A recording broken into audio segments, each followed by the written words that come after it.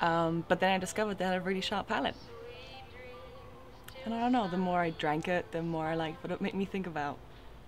Like what? like what a fraud he was.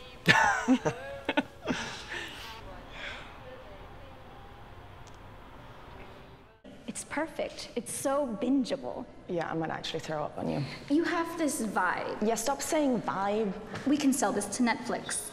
God, no, I'm out. And I was watching her through my sights, waiting for the opportune moment, and then. Yes? And then she took off her clothes. What? All of them? All of them. I see it all over your sad fucking face. If it were me who fucked up, I would have walked my ass over to your place with a bottle of wine asking for forgiveness.